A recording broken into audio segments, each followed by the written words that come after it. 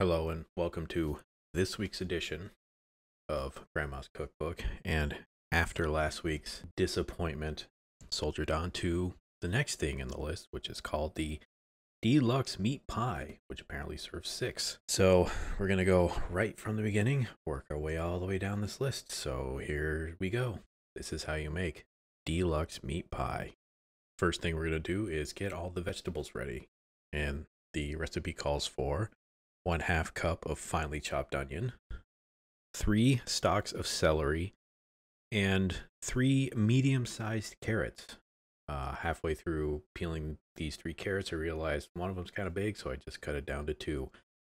Chop them up nicely, get them all set in bowls, ready to go, and we move on to the stove. In a pan, you'll want to put one quarter cup shortening.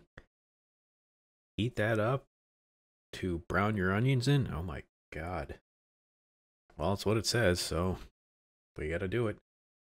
Cook the onions until they get nicely browned, and then set half of them aside into a bowl for later. Next, add one pound of ground beef, one teaspoon salt, and an eighth teaspoon pepper.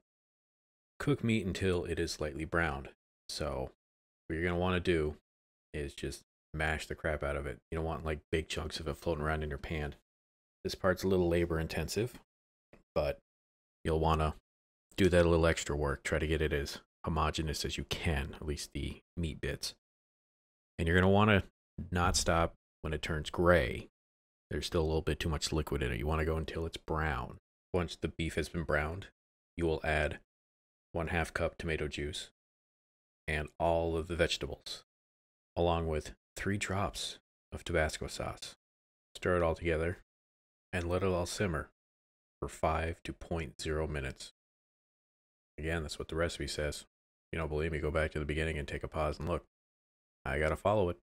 Next, in a bowl, combine one third cup flour, one half cup tomato juice, and one half cup catsup.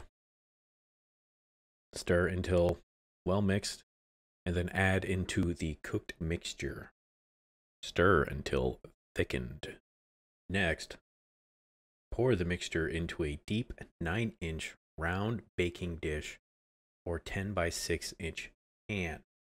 Next says to top with onion biscuits. Well, wait, wait a minute. There's. Where's the part that says I gotta have. Where's the ingredients, the instruction for onion? Let me look at the recipe. There's nothing else on here. What the hell am I supposed to do? Hmm. Well, guess I'm gonna drive this store and cheat. I went and got whatever those Pillsbury biscuits are, threw them in the oven, and I'm using those instead as a surrogate. However, since I baked these beforehand and it says to bake this in a hot oven 450 degrees for 12 to 15 minutes, I'm going to cook the mixture by itself for about 10 minutes. Then I'll open up the biscuits, put on top, add the rest of the browned onions. And let me tell you, onions that have been sitting and shortening are pretty, pretty gross. I would not recommend it. Anyway, finish it off so it gets a little toasted. Pull it out, and there you go. Deluxe meat pie. And how's this one taste? Well, for the second week in a row of ketchup being a pretty strong ingredient, this one wasn't as bad, but it's sloppy joes. There's nothing else with it. However, I think this time for this week, I'm going to come back to this for Thursday and improve this as I see fit.